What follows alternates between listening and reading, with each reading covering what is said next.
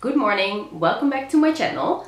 In today's video I'm going to show you 10 ways how you can keep on top of the home at any times. We've had people visiting our home unexpectedly but they are always like it's so neat in here, it's so tidy, how do you do it? Um, so today I'm going to share you our little tiny ways and secrets how we keep the, uh, the house tidy at all times. Keeping a tidy home starts for me in the bedroom. Um, when I go to bed in the evening, I always take off my sweatpants or pajamas uh, because I like to sleep only in a t-shirt. But instead of throwing my clothes on the floor, uh, I put them straight away. So that either means that I will fold them and put them in our closet or I'll put them in the little laundry basket that we have in our dressing room. Um, so tip number one, Put the clothes that you're wearing straight away. This isn't just for going to bed, but this is also when I come back from home uh, or this is also when I come back from work and I have to take off my work clothes. I put them straight away into the closet. Um, that way it isn't lying around and it's just put away nicely and I don't have to worry about it anymore. Second tip as well for the bedroom. This is one that you will have heard many times before, but it truly works, is making the bed every morning thing that I'm quite guilty of that I didn't used to do, but it bugs my boyfriend a lot. And he was like, you never make the bed. How can you not make the bed and just leave the home? Like, I was like, I don't know, I'm in a hurry. I don't have time for that. But now I do it. And when I don't, it feels like, we get out of bed in the morning, I will just make the bed straight away. It doesn't it, it, doesn't take long at all. You can think like, oh, I don't have time for this. It only costs you like a minute maybe or two. So when you get out of bed, make the bed straight away and it just feels so much nicer, so much tidier. And when in the afternoon or evening when you come back from work or wherever you were going, you go into your bedroom and it's just all tidy and it makes the world of a difference. Tip number three is about our closet, our dressing room. way to keep it really tidy for me is to use all the same hangers. It really, really annoys me when people have all kinds of sizes, colors, different hangers. It looks very messy in my opinion and when you have all the same hangers it's just it, it looks so much neater. A lot of people are a fan, big fan of the velvet hangers. Personally I think they're quite flimsy, they're not all the same quality or the best quality.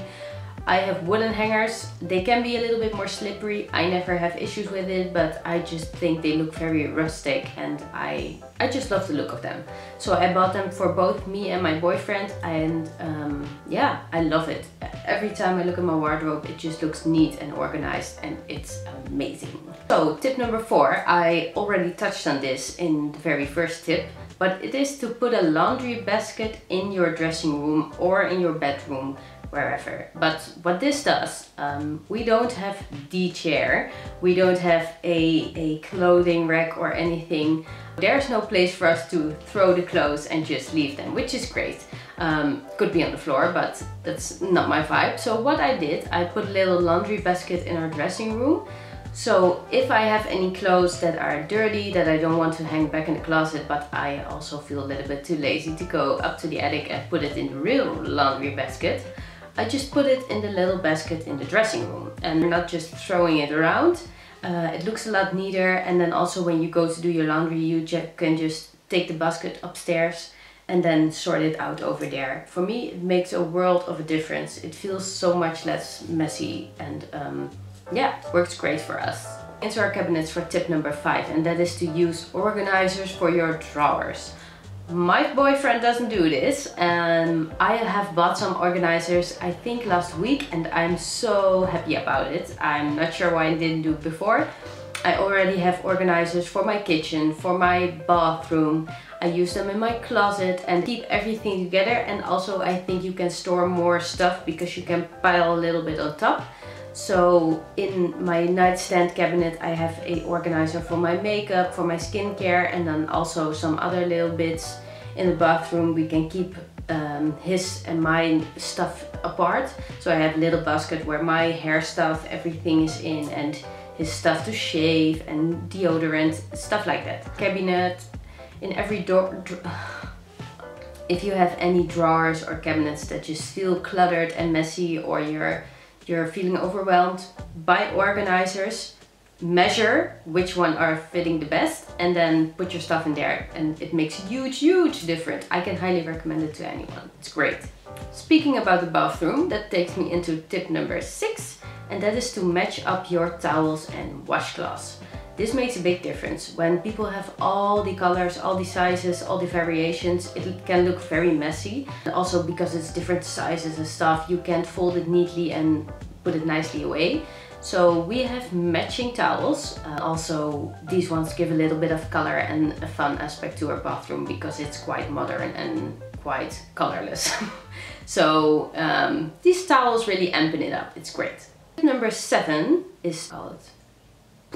I have to Google this first. Hold on. Take your shower, immediately take down your faucets with your towel. So what I do, I get out of the shower, I put the towel on my head, dry it off a little bit, and then when I'm dry, I go back in the shower. Then take your towel and immediately, immediately just take off the faucets. Um, that way you don't get any watermarks or something on it and it looks shiny straight away. This is something my parents taught me when I was still living at home and it really annoyed them when I didn't do it. So I never got it, but now that I have my own bathroom and I can see how dirty it can get and how difficult it is to get the caulk or what it's called off. Um, I always do this. So I also have this little tool to uh, wipe down the walls and this little glass panel that we have. And then after that I take my towel and I go over all the stainless steel stuff. So it's all nice and shiny. This is my least favorite job to do. I honestly can say. And I have to be honest, I should do this a lot more often but it is to, is to clean your mirrors at least once a week. Mirrors can get super dirty and I think it just looks very shabby when it does. It's a little a bit messy, a little bit dirty. So if you have a cleaning day or a cleaning moment, at least do your mirrors. My preferred way is to take a microfiber cloth. So first I take down the dust because obviously there's dust on the mirrors. Take that down first. Then I use a wet cloth uh, I go over it to remove any stains or stuff that's on it, um, wipe it down. Then I use either a um, glass spray or something, a, a glass cleaner. Or what I've been using lately as well was a bucket with um, ammonia and that also really gives a nice shine and polishes it. So use whatever you like, but take it down with a either a flat weave microfiber cloth or a tea towel, something that has a flat weave and is clean. And um, do that once a week. You can just stay on top of it. It always looks clean and it makes um, a big impact on how the house looks because right now mine are very dirty and it, it looks really grubby. It's not a good look. Number nine, wipe as you go. This goes for a lot of things. Um, when I've had my breakfast in the morning, I take my placemat, I put the little crumbs and stuff that's on it um, in my trash can so it's not all on the floor and then I take a little wet cloth and I take down our table immediately. It always looks clean, it's a tiny tiny effort but it always looks clean and nice and ready to sit on. This is also something I like to do when I'm cooking. This is something my dad taught me. When you're cooking, um, just put the things away as you're going. So don't make a big fat mess and then afterwards you have to clean up all this stuff. I have the little plastic bag I put it in the container straight away. When I've used the oil in the pan, the oil goes back into the cabinet. Um, let it all pile up. Also with pots and pans, um, I'm not the best at this either, but just clean them after you have had your dinner. Don't let it sit there and, and just let it get smelly and dirty and until the next day. Wherever you go, if you have made a mess, clean it up straight away and don't let it pile on because that way you will go crazy, crazy. You will have so much to do and it will be a lot of stress. That's definitely not worth it. Oh, tip number 10. I don't mind vacuuming, vacuuming, maybe you do, but I will tell you, you have to do this every three, three to four days, maybe even two to three. Um, I have long hair, it sheds like crazy. I feel like a little bit of a dog. Dust just collects like nothing else. Uh, after a few days, it's definitely a little bit more dirty on our floors and you can feel it. If you walk on barefoot, you can feel all the little crumbs and hairs and stuff and grosses me out. So what we do, um, I think it's easier because we both don't mind to vacuum, but we do this every few days and that way the floor always just look neat, especially in the kitchen. Uh, dirt and stuff and crumbs pile up there really quickly.